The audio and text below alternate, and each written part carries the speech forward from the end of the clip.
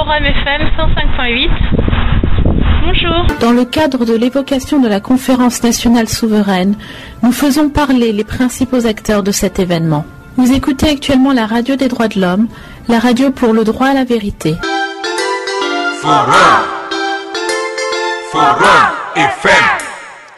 Radio Forum FM 105.8.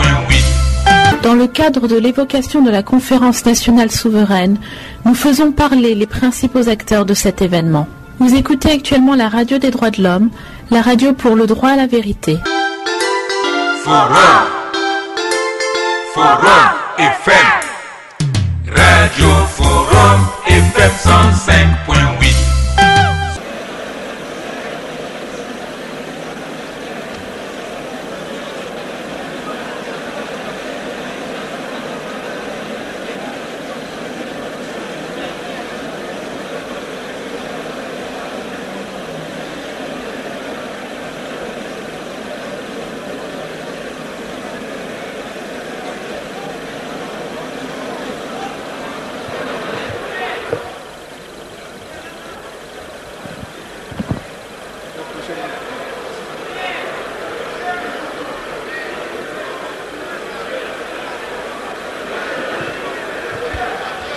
Merci pour le silence.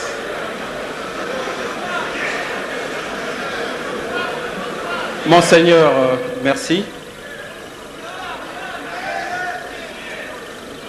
Je suis euh, Eolo Oscar, ancien commandant le bataillon autonome de la garde présidentielle.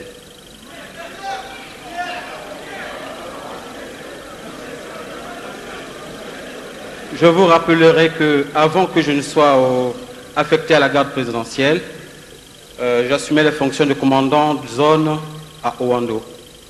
Et euh, courant février, j'avais été relevé et affecté à la garde présidentielle. Euh, alors que j'étais déjà affecté à la garde présidentielle, j'étais sans fonction. Courant avril, le président Sassou ayant été reçu par le président Marien Gwabi, sortant de son bureau, j'ai dit au président Sassou ceci. Euh, je ne suis pas venu ici pour me pavaner dans euh, ces jardins présidentiels.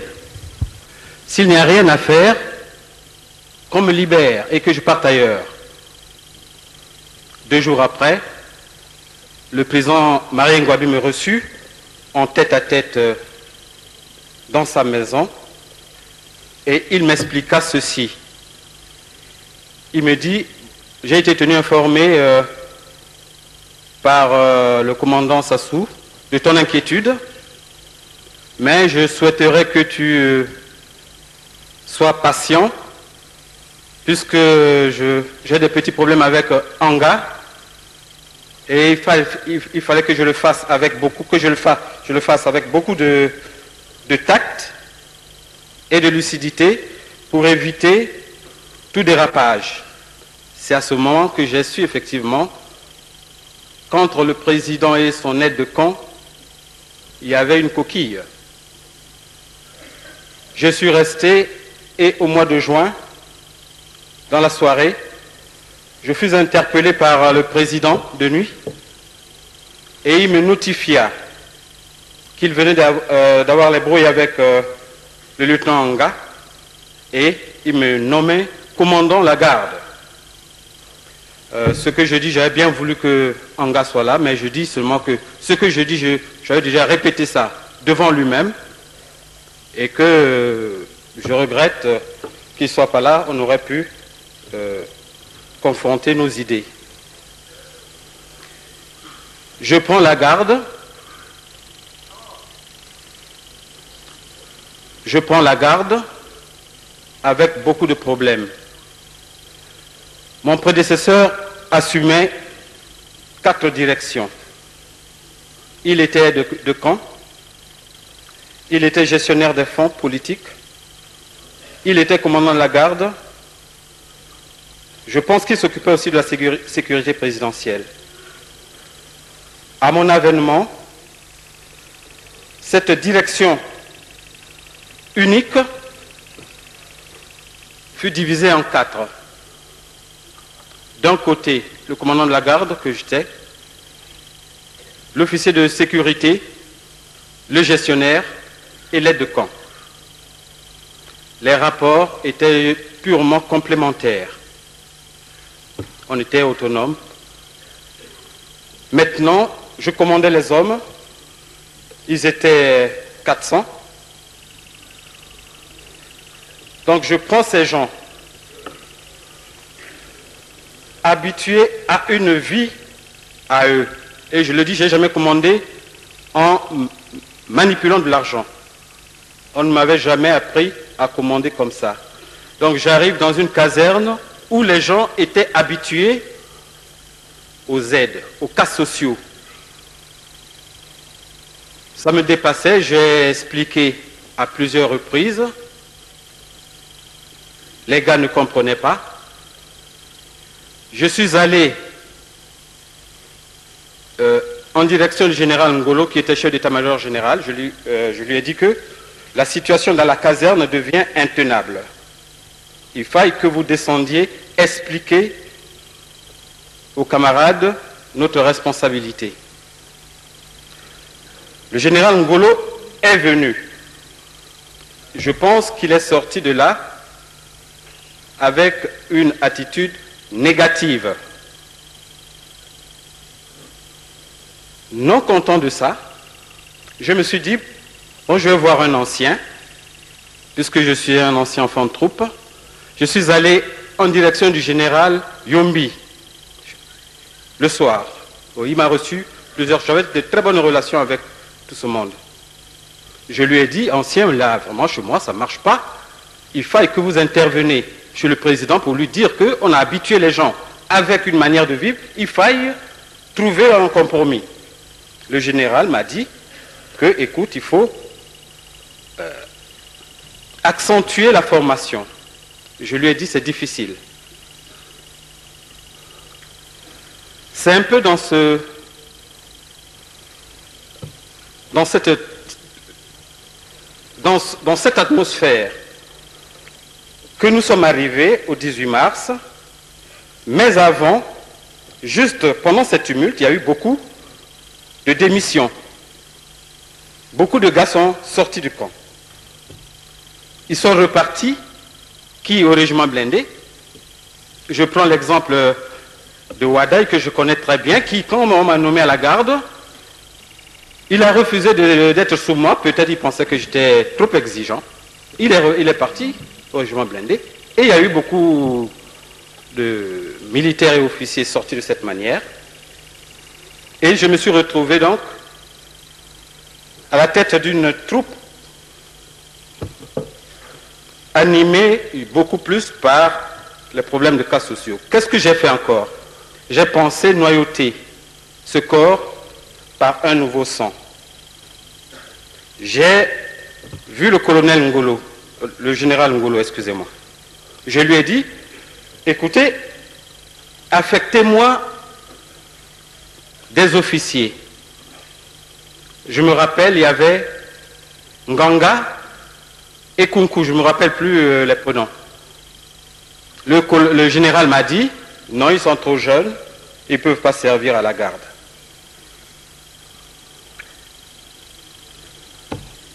Nous arrivons au 18 mars. Avant d'arriver au 18 mars, donc il y avait le problème de festival. Le festival,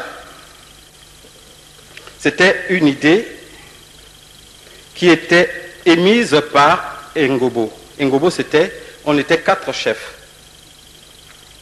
J'avais une grande troupe avec moi. J'avais le commandement avec moi.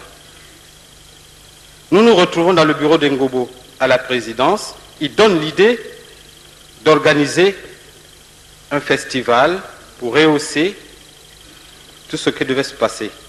Et on me donna la mission de, l'organiser. Dieu merci, qu'on n'a pas pris tous mes documents. Il en a pris une partie. J'ai retrouvé juste dans mes archives quelques papiers.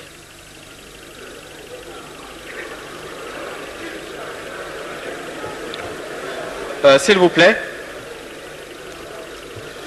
Ce document a été écrit par moi le 10 mars Dans les archives de l'état-major général, on peut en trouver. Dans les archives du commandement de la zone autonome de Brazzaville, on peut toujours en trouver. Ce n'était pas quelque chose de caché, puisque j'avais pensé pour moi, on m'a donné la, la mission d'organiser une manifestation, il fallait que je le fasse et j'ai consigné ça dans un document. J'ai écrit ceci.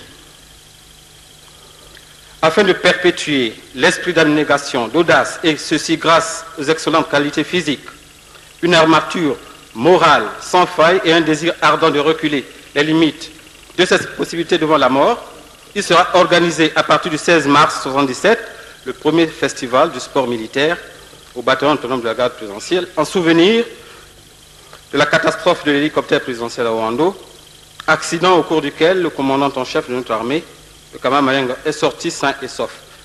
Bon, il y a eu un- une commission mise en place, mais je signale, même si il se pourrait que j'ai été naïf, je refuse qu'on allie mon nom à un complot, puisque je vous le dis en passant, je suis passé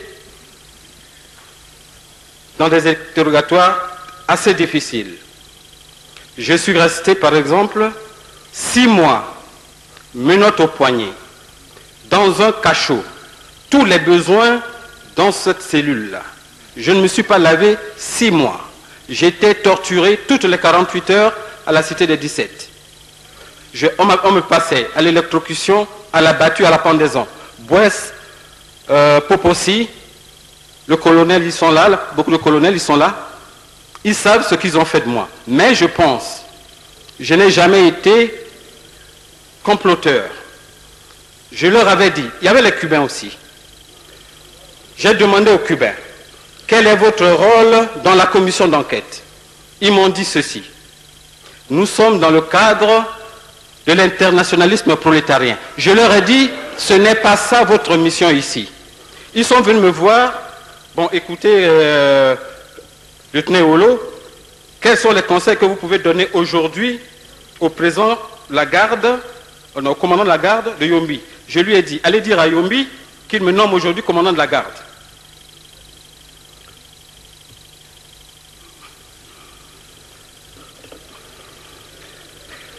Je continue, s'il vous plaît. Plusieurs notes ont été prises, puisque moi, je ne suis pas comploteur, je suis peut-être un piètre officier, le résultat aidant, je n'en disconviens. Mais de grâce, chacun de nous a eu, pour, servir un président de la République, je n'étais pas de son clan, je pense quand même que euh, j'avais certaines qualités qui pouvaient m'amener à ce niveau. Au mois d'octobre, j'ai écrit, non comptant de la marche du corps, j'ai écrit cette note-ci. Euh, si vous- ça vous fera toujours bien, surtout les jeunes, de Gélico et de la cause. Je leur dis que moi, je ne suis pas comploteur. Eux, s'ils font le euh, sont des informateurs, je n'ai rien à voir. Je leur dis seulement ceci. Au mois d'octobre 76, j'ai écrit cette lettre-là. Lieutenant Eolo, commandant le bataillon, à tous les commandants de compagnie, instructeurs politiques, présidents des organisations de masse. J'ai dit ceci. L'attention du commandement du bataillon autonome de la garde présidentielle est désagréablement surprise par l'attitude léthargique qu'affichent les différents commandants de compagnie et les responsables des organisations de masse. Cette attitude regrettable entraîne par conséquent le laisser-aller à tous les niveaux, par exemple le retard au, au rassemblement des cadres, la non-application stricte du programme de formation, ce malgré le renfort des effectifs, les sorties abusives sans permission des cadres subalternes, non encadrés, les combattants non utilisés, ce malgré euh, toutes les instructions données. Pour cela, par cette note, mon autorité s'est trouvée dans l'extrême obligation de vous rappeler à l'ordre et vous demande de vous ressaisir et d'être des responsables, responsables, garants de la formation physique et morale des cadres et combattants sous vos ordres en vue du combat et ce pour garantir leur appartenance à ce corps qui a des missions très précises, honorables et très délicates. Je, juste pour dire déjà que, et j'ai fait, vous savez, quand il y a eu la politisation de l'armée, pour qu'un chef militaire donne un pourcentage horaire supérieur à la politique, ce n'était pas donné à tout le monde. J'ai instruit 21 heures par semaine, c'est-à-dire 50% de formation militaire aux gars et 20% à la formation politique. Bon, en ce qui me, concerne personnellement, je pense personnel, euh, que j'ai fait ce que je pouvais faire pour garantir. J'ai informé toutes les autorités qui m'étaient hiérarchiques. Maintenant, si la disposition, j'ai été incompris, c'est regrettable. Comme on parle de complot, il semble que peut-être euh, euh, le festival était fait pour désorganiser une garde, mais c'était pas, pas ce, cet officier qu'on pouvait me prendre n'importe comment, je pense pas. Je continue. La garde n'avait pas de règlement, de texte qui régissait ce corps. J'ai écrit le 7 mars 1977 un règlement intérieur.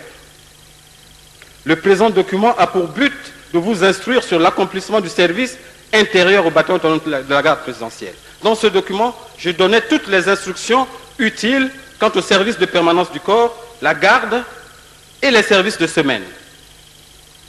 Je l'ai fait. Euh, l'état-major peut fouiller dans ses archives. Le plan de défense, tout cela n'existait pas. Je l'ai fait, c'est au coco qui l'a pris, puisque quand on me chargeait, j'étais obligé de chercher mes documents pour euh, le justifier. Quand je les amenais, il les, euh, il les avait pris. Mais j'avais déjà proposé déjà un plan de défense de la, de, du palais présidentiel. Le 18 mars, nous arrivons. C'était une journée comme toutes les autres journées. Je travaillais deux temps. Mon bureau était à l'intérieur de l'état-major général. Ponctuel, je me retrouvais à l'état-major dans les environs 14, puisque je reprenais le travail à 14h30. Donc je rentre par le grand portail. Juste entre le ministère de la Défense et euh, la logistique, je pense, actuelle, j'entends un coup de feu. Ça ne me dit rien puisque ça, dépend de la formation de chacun. Certaines personnes peuvent se paniquer par un premier coup de feu, mais moi, je, ça ne m'a rien dit puisque ça, pour moi, c'était rien. Oui, mais s'il vous plaît, les amis, c'est vrai. Hein un premier coup de feu, ça venait, euh, euh, ça, sonne un boum comme ça, mais ça m'avait rien dit. Un, un, premier coup de feu, pistolet. Un deuxième coup de feu, je m'arrête, suivi des grandes rafales. Là, je suis entre le ministère de la Défense et la logistique. On tire, euh, je remercie le, euh, le petit Marien qui a dit qu'il y avait effectivement beaucoup de, feu, puisque tout le feu descendait en ma direction. Je traverse l'artère et je vais à la permanence. Il n'y avait que deux personnes. Permanence euh, état-major. Il y avait deux personnes. Je téléphone au corps pour leur dire descendez avec les engins blindés, bloquez euh, toutes les issues en tenaille. Je sors de ça, ça rentre dans mes missions en qualité de chef. Si vous me demandez qu'est-ce qu'il faut faire, un chef, en cas de qu'est-ce qu'il doit faire, c'est ce que je vous le dis, le chef, en cas de ça, c'est ce qu'il doit faire. Ma première réaction, c'est ça. Je fais descendre les troupes de permanence qui, étaient basées euh, au BIM, je ne sais pas si on appelle ça BIM ou RIM, vers euh, le mess euh, des sous-officiers. Ils étaient basés là-bas. Il fallait qu'ils quittent ce corps pour venir à la présidence. Je sors les éléments qui étaient euh, à l'intérieur, euh, j'étais, je sais pas, cinq, quelque chose comme ça, ils fuient. Ils fuient, ça dit ils ne sont plus à l'intérieur de la présidence. Ils sont maintenant presque à la hauteur du ministère de la Défense. Mais je vous dis sincèrement que euh, c'est moi qui étais le plus malheureux puisque je ne pensais pas que mes gars pouvaient fuir. Euh, je vous le dis, puisque je ne me vois pas moi fuir.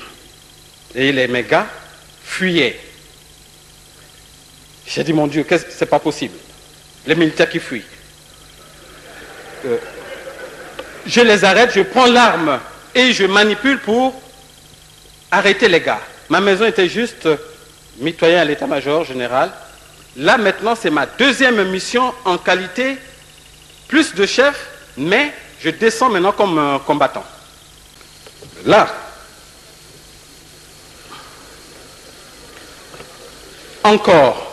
Entre-temps, on avait dit qu'on on avait interdit à Anga de rentrer dans les casernes. Les gens ne savent pas de pourquoi ils ne pouvaient plus rentrer dans les casernes. J'avais dit à Marien ceci, une nuit. Si ça continue de cette manière, Anga est en train d'entretenir certains des gars, je démissionne. Puisqu'il y a déjà une, euh, une fissure, l'ennemi va rentrer. Moi, je ne peux pas diriger un corps de ce genre. C'est cette nuit-là que, je pense, le commandement avait été convoqué et le président Marien a dû notifier cela.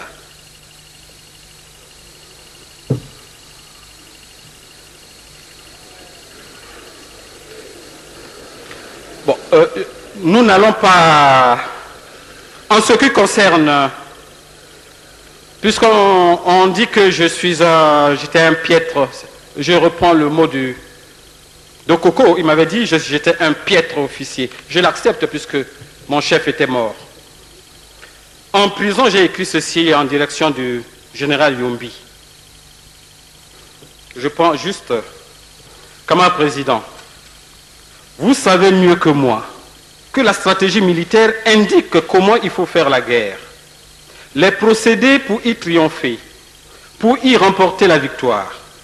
La guerre étant un art, une science régie par les lois, difficile et longue est son étude théorique, plus difficile et longue sera sa pratique sur le terrain, sur le champ de bataille. Et que l'issue d'une guerre est question de probabilité et que le chef, malgré son désir de vaincre, reste sur le terrain le marchand de l'espérance auprès des hommes. J'avais écrit ça pour lui dire que vous ne pouvez pas me mettre à perpétuité puisque, puisque je refusais le complot. Militairement, j'avais été puni à la forteresse à 60 jours. Donc, sortant de 60 jours, un soir, je vois un, un policier, Missenge, je le vois souvent à la télévision là, Missenge qui vient un soir, alors que j'étais en forteresse, deux jours avant que je sorte, me donner un, papier où j'étais mis aux, a- euh, aux arrêts pour complicité dans la mort du président Marien Gwabi et que moi, j'étais à l'origine de la mort du président Marien Gwabi. Je lui ai dit vraiment, c'est difficile. Et on m'a amené. Je ne comprends pas toujours. Je suis passé, mon premier, euh, mon- premier officier qui m'a interrogé, s'il faut passer ça comme ça, c'est Eyabo. J'ai été entendu par Eyabo à la sécurité d'État. J'ai été entendu à la cour martiale. Moi, Posso. C'est vous qui m'avez reçu la nuit. Si je le dis, c'est juste pour vous ra- rassurer, s'il vous plaît, que si je suis sorti de cette épreuve, euh, je n'ai pas été euh, ménagé, s'il vous plaît. Et c'est très dur. Je vous rappellerai encore, je sais que le colonel Tsiba, c'est mon ministre, il, a, il, il se rappelle, le 18 à 21 heures, alors que j'étais avec mes gars à la garde, puisqu'il y avait une tension, on disait que les autres corps devaient nous canarder. J'ai dit à mes gars, il faut rester tous sur place et nous devons faire euh, corps. À 21h, on me fait appel pour que je parte annoncer la mort du président Marien Gwabi au président Sassou Nguesso. Immédiatement, j'appelle mes, mes officiers. J'ai dit là, ça va se sentir le roux.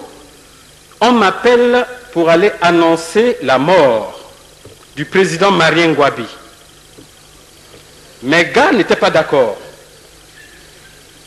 Ils ne voulaient pas que, je parte. Je leur dit, je dois partir. Ils disent, si c'est ça, on forme cortège. J'ai dit non, je vais seul.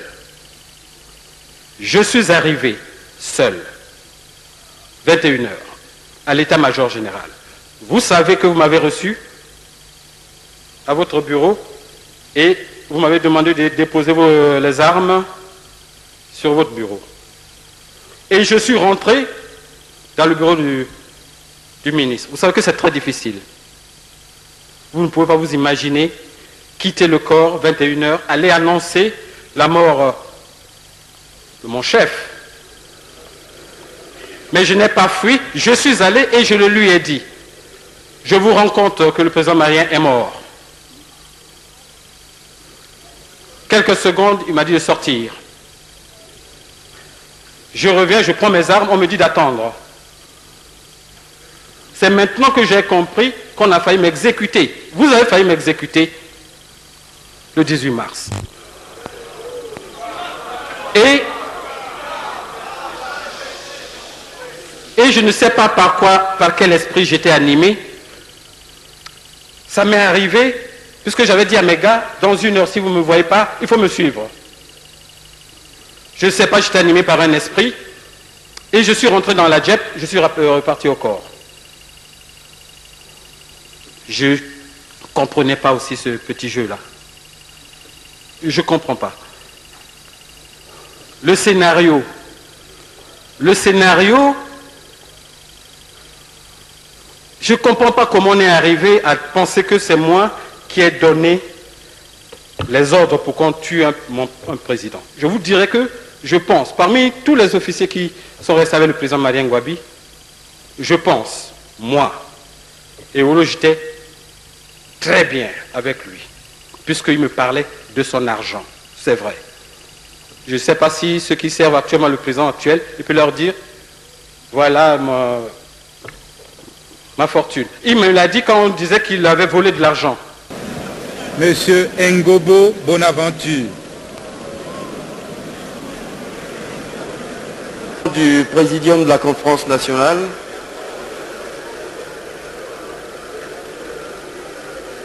Madame, Messieurs du présidium, très chers conférenciers,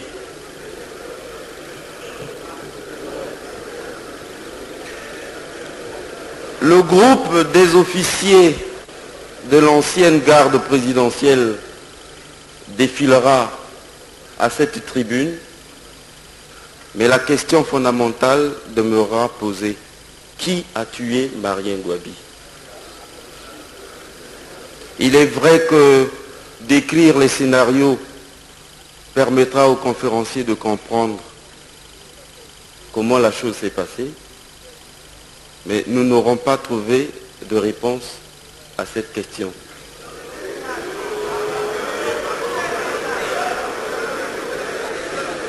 Si j'ai demandé, si demandé à la conférence, si j'ai demandé à intervenir ici,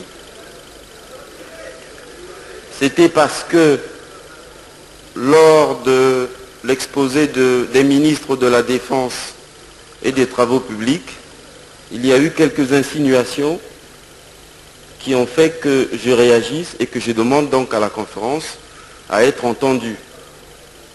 C'est pour cette raison que je suis dans cette salle.